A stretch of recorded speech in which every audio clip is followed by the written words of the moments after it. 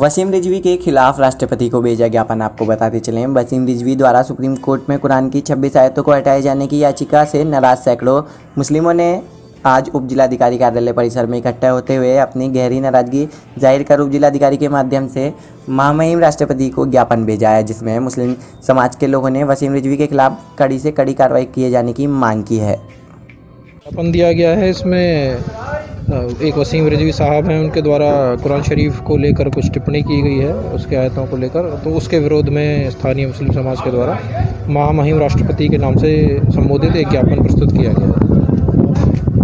नेता और राज्य मंत्री वसीम रिजवी, जो पूर्व में शिया बोर्ड का अध्यक्ष भी या मौजूदा है,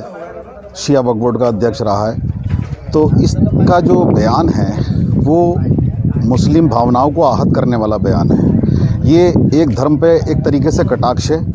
और ये भारत के संविधान के भी खिलाफ है। मैं समझता हूँ अंतर्राष्ट्रीय स्तर पर भारत की धर्मनिरपेक्ष छवि खराब करने का एक गहरा षड्यंत्र है। सरकार को इस पर संज्ञान लेना चाहिए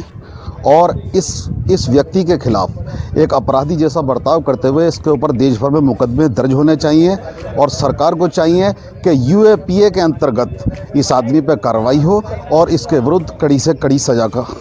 कराया जाए